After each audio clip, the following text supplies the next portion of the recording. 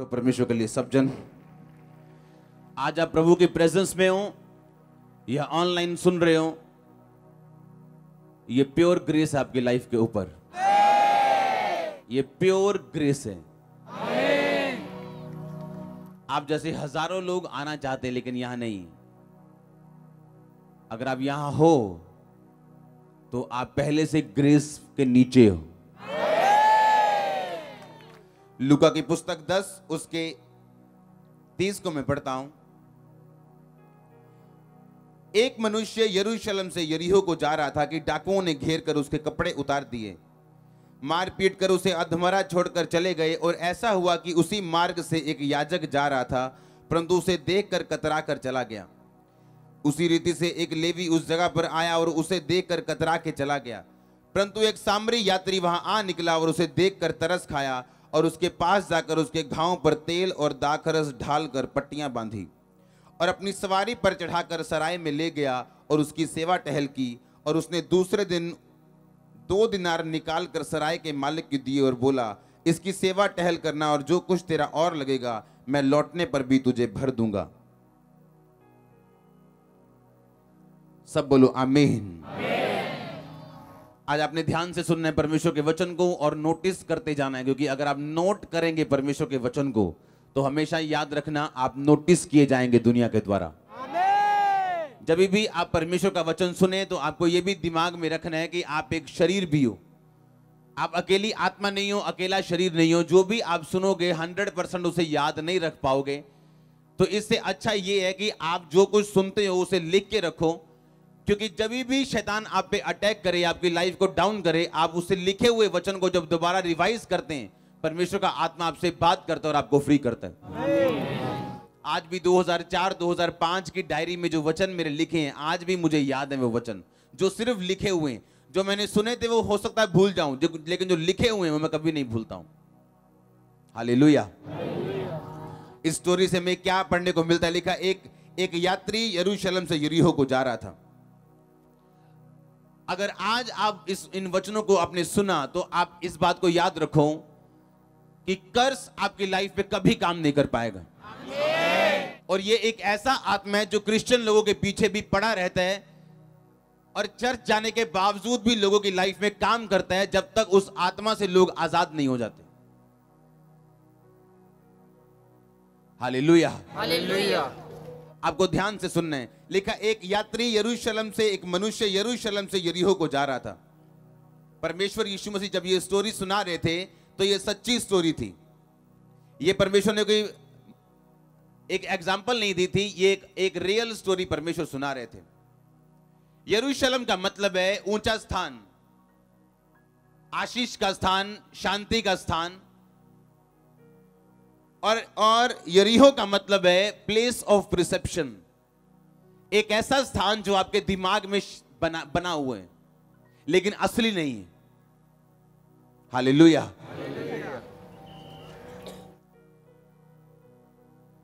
जब भी एक व्यक्ति परमेश्वर के स्थान को छोड़ के उस स्थान का पीछा करेगा, जो स्थान शैतान ने उसके दिमाग में पैदा किया, हमेशा उस पर अटैक होगा।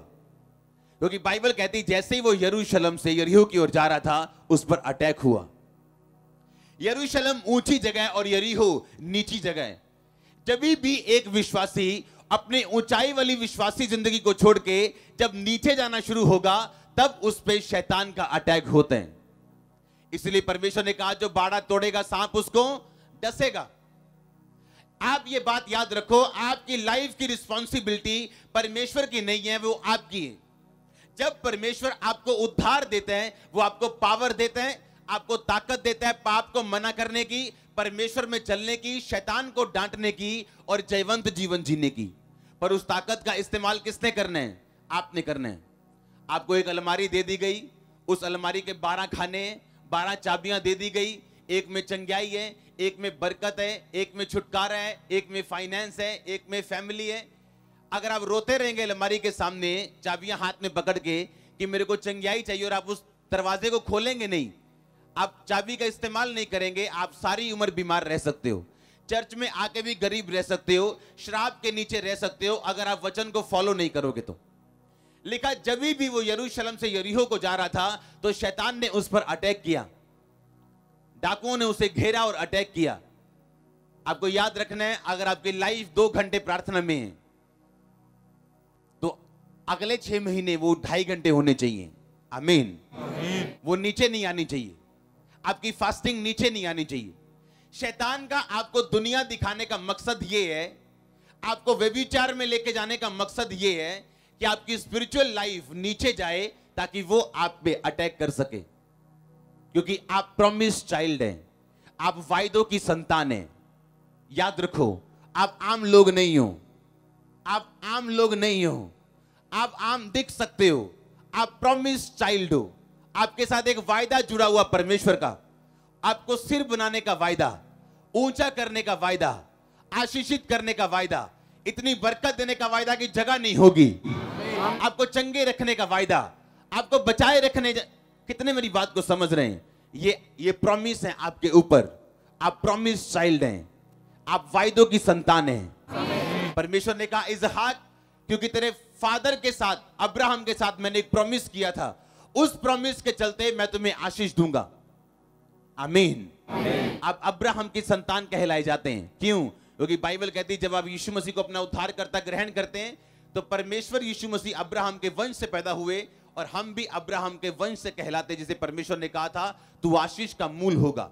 आमीन आप आप वायदे की संतान हैं। आप शरीर की संतान नहीं।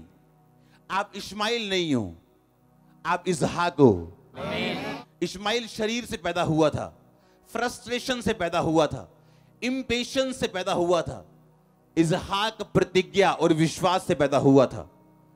आप शरीर से पैदा हुए थे जब माता पिता के मिलाप से पैदा हुए पर आत्मा से पैदा हुए जिस दिन आपने बैप्टिज्म लिया और परमेश्वर को जाना अब आप शरीर की नहीं आत्मा की संतान हो वायदे की संतान हो। आमीन और एक एक वायदा आपके साथ जुड़ा हुआ है। आपको ग्रेट करने का वायदा, ऊँचा रखने का वायदा, दुश्मन आपकी लाइफ टाइम जब तक आप बूढ़े हो गए प्रभु के पास नहीं जाते, आप पे कभी हावी होने ना पाएगा। लेकिन आपको यह बात ध्यान रखनी है कि वो दुश्मन तभी हावी हो पाएगा, जब वो आपकी आत्मिक ज़िंदगी को डाउन करेगा। यरूशलेम में जब तक वो था, उस पर कोई अटैक नहीं था। जैसे यरूशलेम को यरीहो जा रहे हैं बाइबल कहती है उस पर अटैक हुआ। क्योंकि आपकी लाइफ में शैतान तब अटैक करते हैं जब आपकी स्पिरिचुअल लाइफ नीचे की ओर जा रही हो। आमीन और आपको समझना चाहिए, जब भी आपकी लाइफ डाउन जाए प्रेयर कम हो फास्टिंग कम हो पवित्रताई का लेवल कम हो, आपको समझ आना चाहिए कि शैतान की मर्ज़ी क्या है, वो क्या करना चाहता है आपकी लाइफ में। क्योंकि शैतान का काम यह है, परमेश्वर के बच्चों को डिसग्रेस करना, उनको शर्मिंदा रखना। उनको आशीष में बढ़ने ना देना, ताकि वो लोगों के सामने एक सही एग्ज़ाम्पल ना बन सके।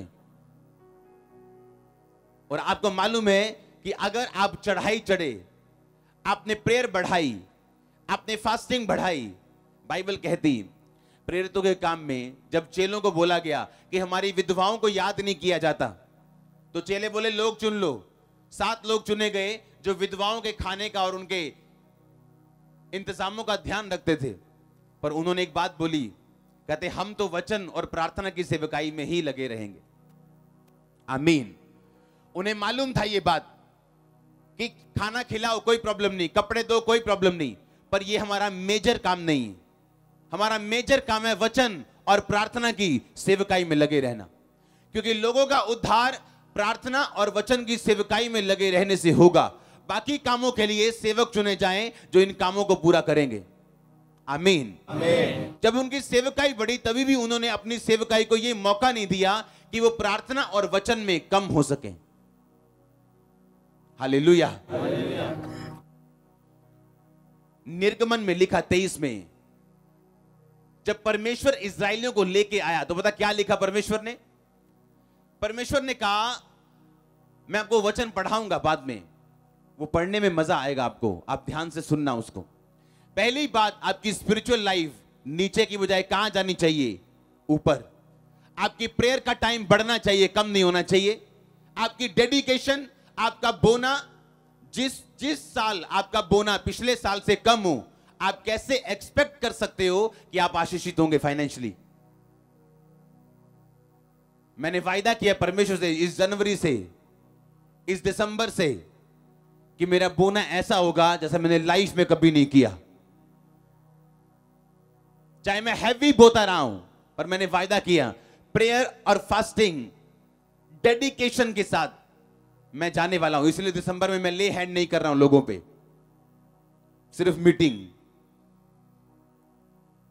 क्योंकि जो आ रहा है इस चर्च में, आपकी लाइफ के ऊपर और मेरी लाइफ के ऊपर, वो वो किताबों में लिखे जाने वाला है, वो हिस्ट्री बनाने वाला है चर्च और आपको ये बात समझनी है कि परमेश्वर आत्मा है। वो आत्मा इसलिए उसने कहा था कि इस्माइल से तरह वंश नहीं होगा। क्यों? क्योंकि शरीर के काम तो जो जिता नहीं सकते। इजहाक से तरह वंश कहलाएगा। अगर तू आत्मा के द्वारा चलेगा तो परमेश्वर का पुत्र कहलाएगा। अगर शरीर के अनुसार चलेगा तो मरेगा। आत्मा के अनुसार चलेगा तो जिएगा। हालेलुया। हालेलुया। बाइबल कहती, जब अटैक हुआ, क्योंकि वो नीचे की ओर जा रहा था, जिस तरह नियोमी, उसके पति, दोनों बच्चे पे हुआ था, जब वो यहूदा से कहा जा रही थी? यहूदा के बैतलहम से। मुआब, यहूदा का बैतलहम जहाँ परमेश्वर का प्रेजेंस थी जहाँ पे, मुआब जहाँ वो जाती थी, जो बाप और बेटी के मिलाप से पैदा हुई थी, पाप से पैदा हुई थी, और परमेश्वर उससे नफरत करता था जब भी आप स्पिरिचुअल लाइफ के साथ कॉम्प्रोमाइज करेंगे, शैतान आप पे अटैक करेगा। और ये उसका मेजर काम है। आप पे अटैक करके आपको इस तरह से रिप्रेजेंट करना कि परमेश्वर का हाथ आपके सिर के ऊपर नहीं ये ये उसकी फाइट है। ये उसकी लड़ाई है।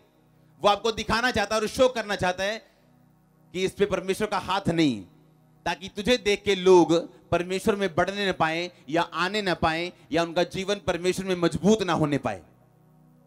हालेलुया हालेलुया आप गवाही पैदा करने के लिए चुने गए हैं। आप में से एक भी जन ऐसा नहीं है एक भी।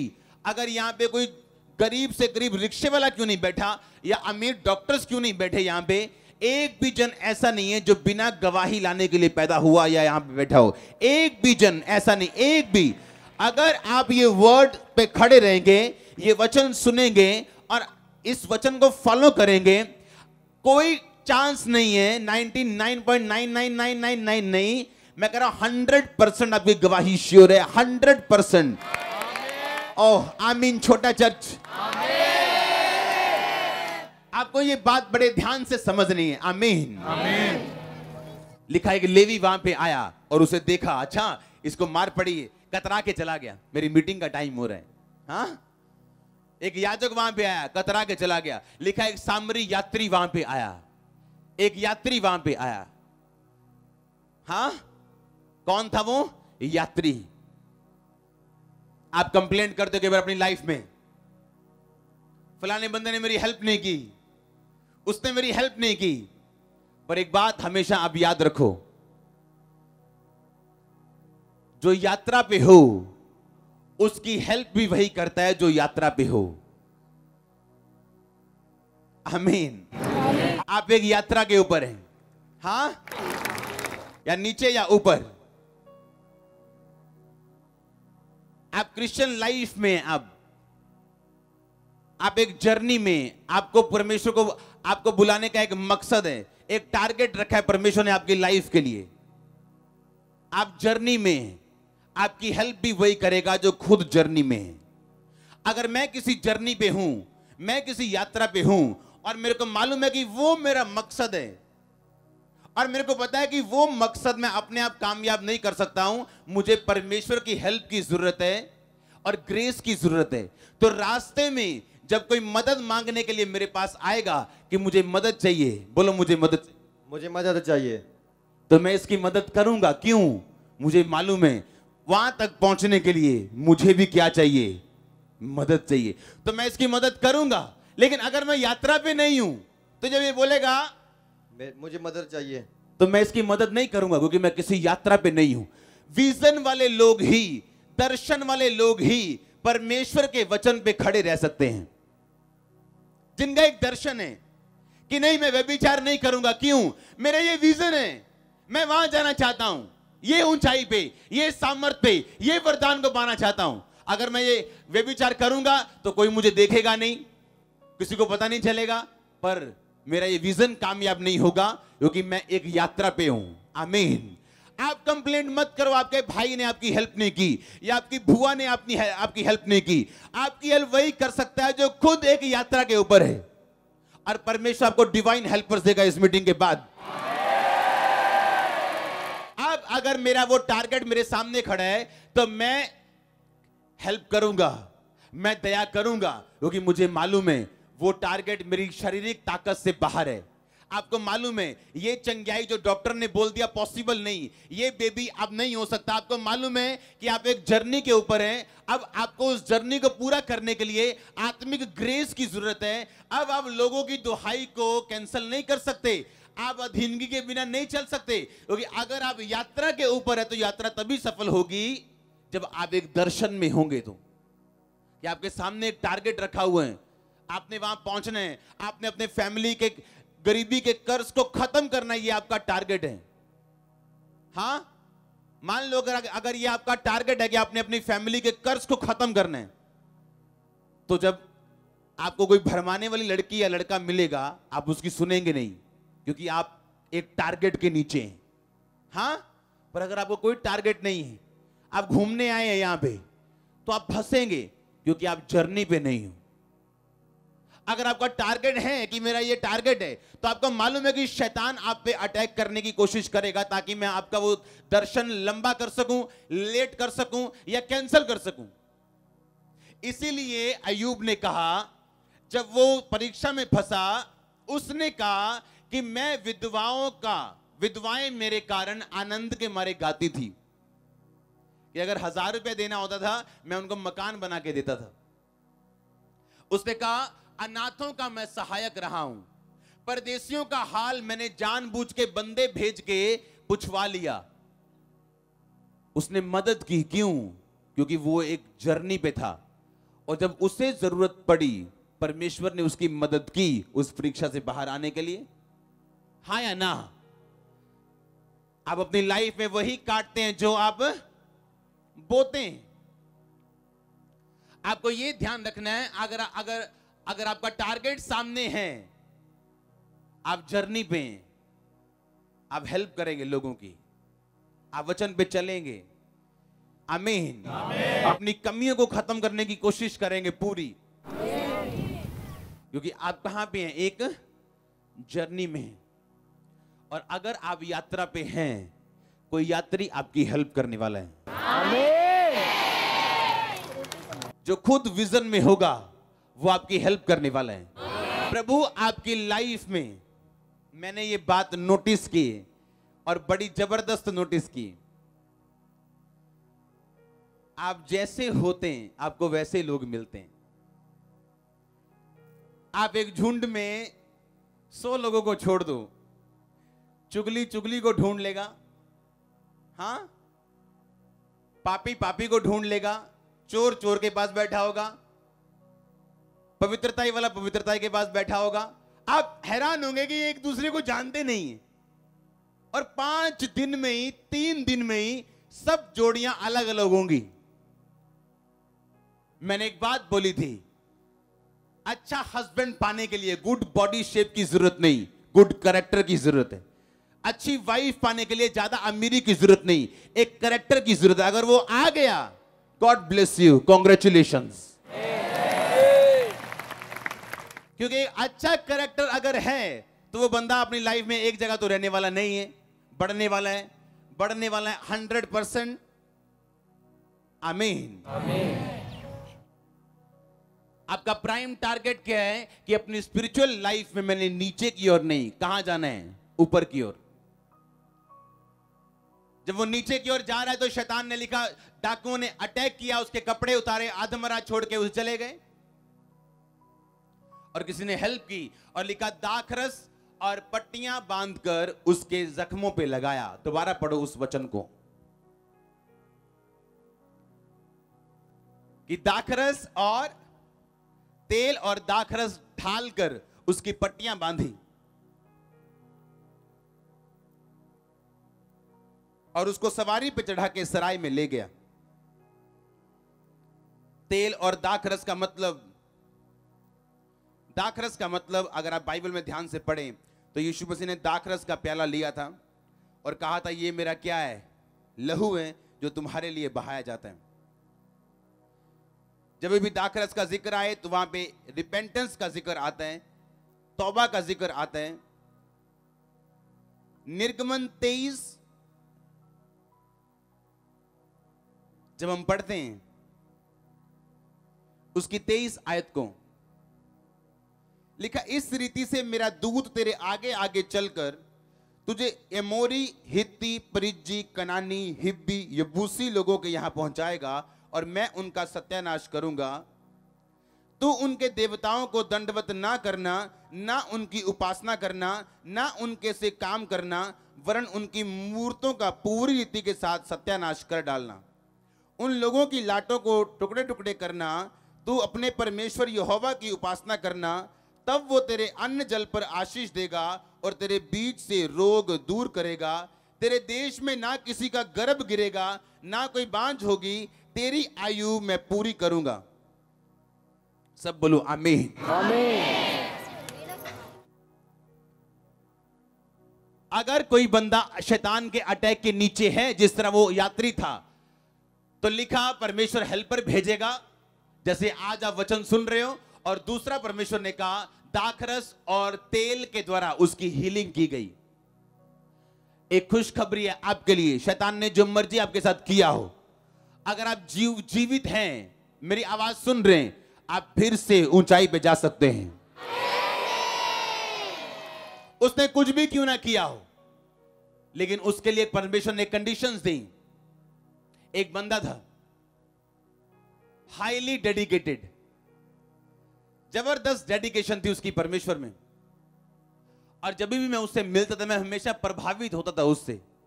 उसके अंदर एक कमी थी। और मैंने बहुत बार उसको बोला, मैंने कहा, ये तेरे अंदर कमी है, तूने इसको दूर करना है। कई बार जब आपकी लाइफ में रिज़ल्ट नहीं होता तो लोग सोचते हैं कि ये आम व्यक्ति है। तब ये चर्च शुरू हुई थी अभी। पाँच सात सौ, एक हज़ार लोग आते थे। जिस चर्च का वो मेंबर था, वहाँ पे चार हज़ार लोग थे। उसे लगता था, ये मुझे क्या बताएगा? मैंने जो उसे बताया था, उसमें आपको बताता हूँ।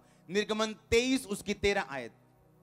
जो कुछ मैंने तुमसे कहा है, उसमें सावधान रहना।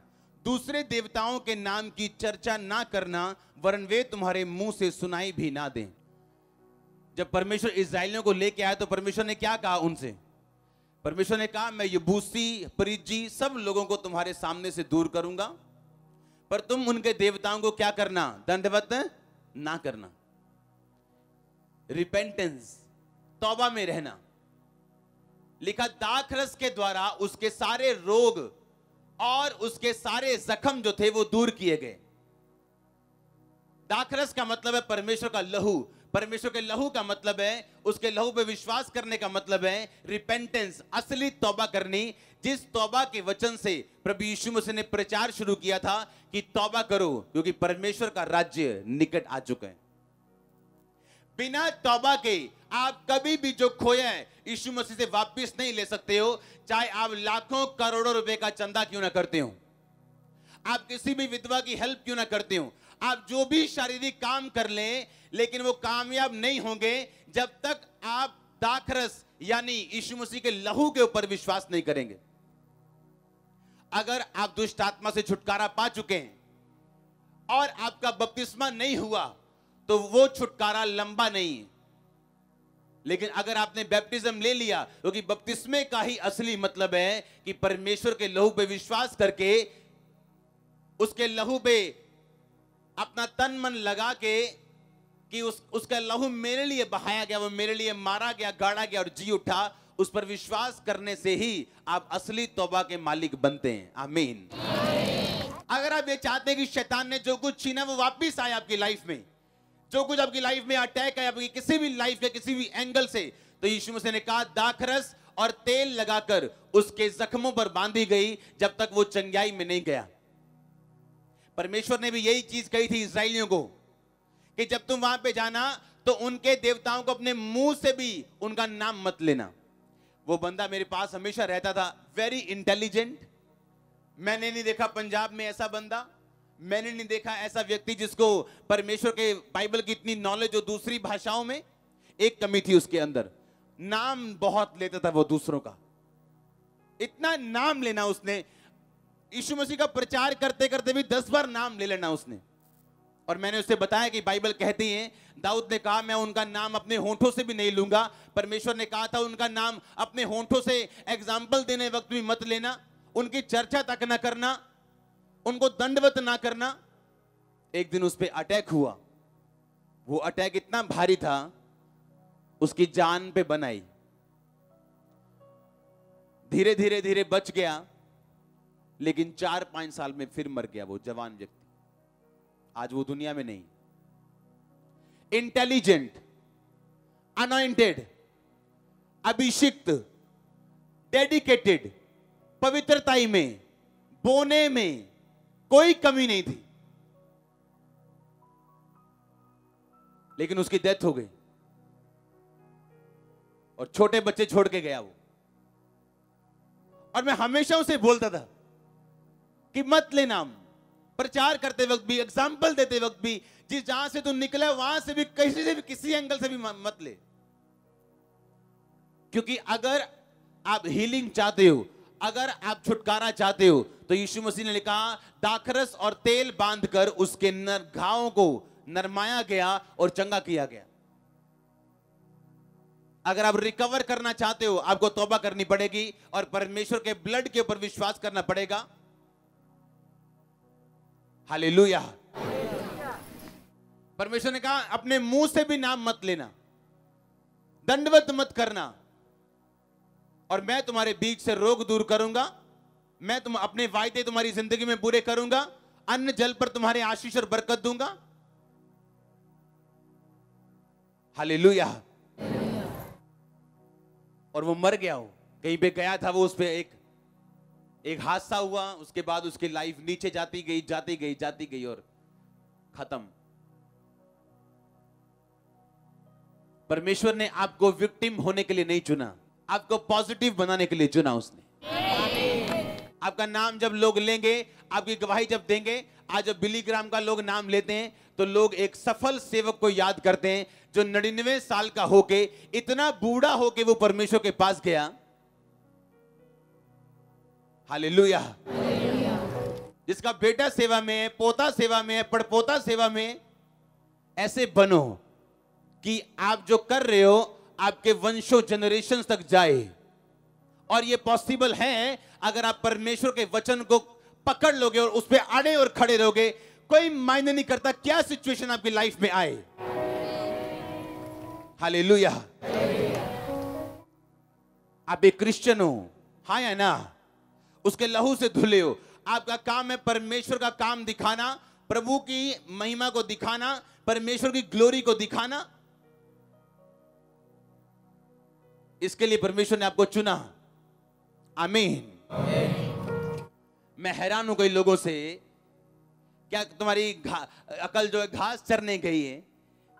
बड़े, आपको जब आप उन्हें मिलेंगे, आपको ऐसा लगेगा कि इसके जैसा आत्मिक व्यक्ति नहीं जब आप उनके केस सुनेंगे, मेरा ये प्रॉब्लम है, घर में ये हो रहा है, मेरी फैमिली में ये है, मेरे पापा को ये और अगर आप उनकी फेसबुक चेक करो तो क्रिश्चियन होने के बावजूद कोई गाना नहीं है बॉलीवुड का जो अपने, अपनी मैरिज में वो नहीं गाएँगे, कोई डांस नहीं है जब हम वो नहीं करेंगे, कोई रीति रिवाज नहीं है जो वो नहीं छोड़ेंगे, सब कुछ करेंगे और परमेश्वर में बने भी रहेंगे और संडे हारमोनियम पकड़ के एक भजन भी गाएँगे। आप कैसे क्रिश्चियन हो? आप क्रिश्चियन नहीं हो, आप एक ब्लैक स्पॉट हो, काला धब्बा हो आप। आप नहीं चुने गए हो एक काम करने के लिए। हालेलुया।